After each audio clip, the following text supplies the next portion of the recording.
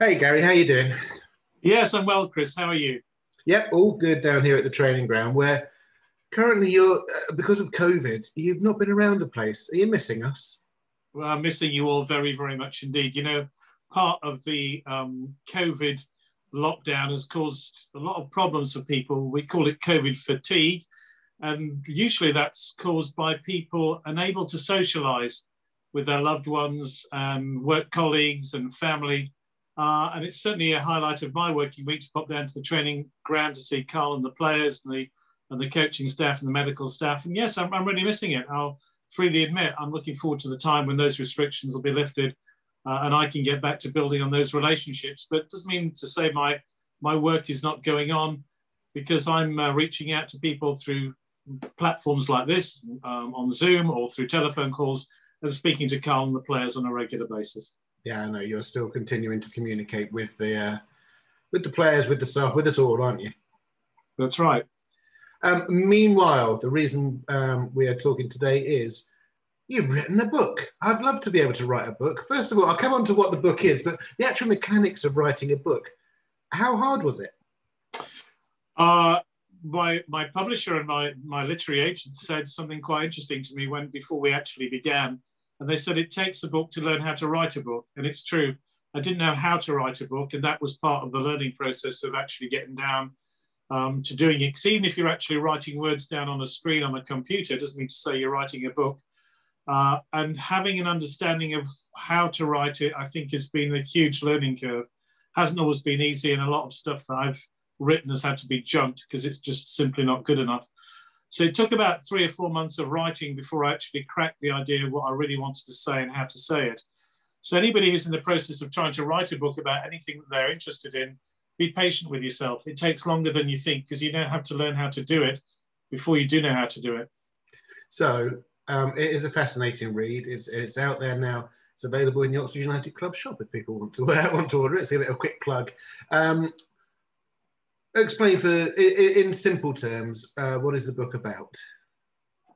Well, the book is called keeping your head in the game. Um, it's about 10 fictitious sports stars who enter the sort of therapy that i offer through my work. But the important thing is you don't necessarily have to be interested in sport because all the stories will give insights for about just about anything in our lives because the things that afflict sports stars, be they footballers, rugby players, cricketers, athletic stars, they affect, affect you and I. Um, and that is what my work is all about.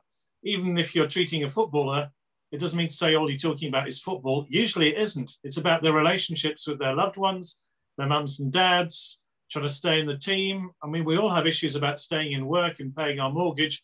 It's exactly the same for anybody involved in sport. And through the lens of working with sports people, trying to explain how I work with people uh, and going behind the dressing room door and explaining the sort of stories that come out of those conversations. Hopefully, people just like you and I will learn more about how to deal with some of their lives and some of the problems that affect, affect them and afflict them.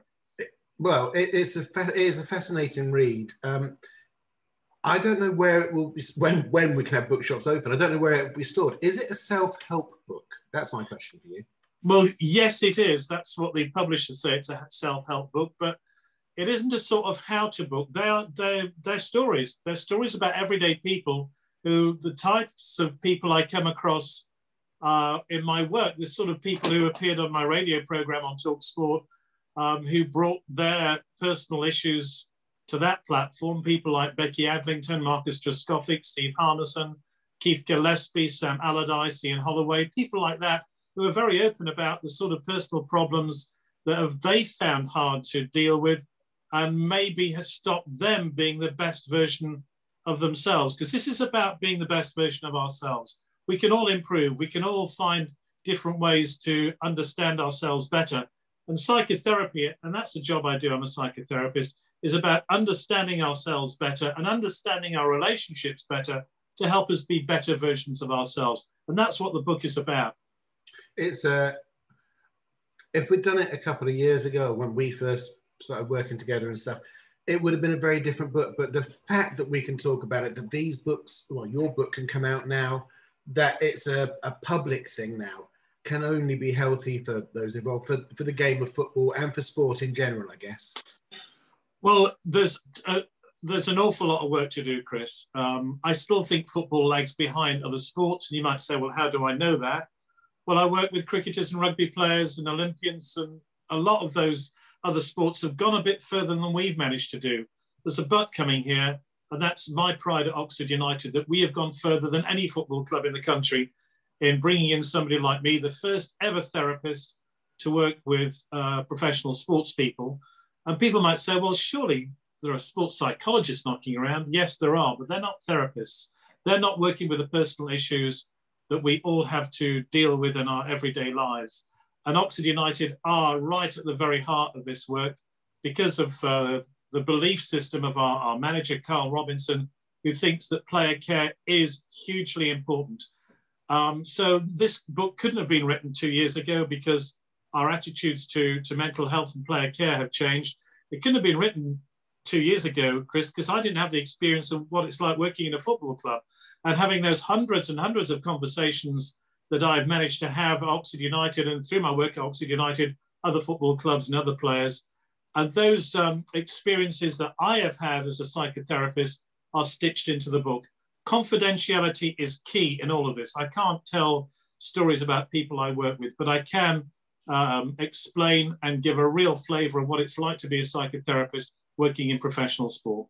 Yeah, and I should just, to finish this off, I should stress it's not a book about Oxford United. It's a book about your work across all, so many different sports, so many different clubs, everything else like that. It is available in the Oxford United Club shop, but it's not specific to us, is it? No, but there are things that I have learnt whilst working with Oxford United, which I have used in the book about my thinking about certain situations. Situations.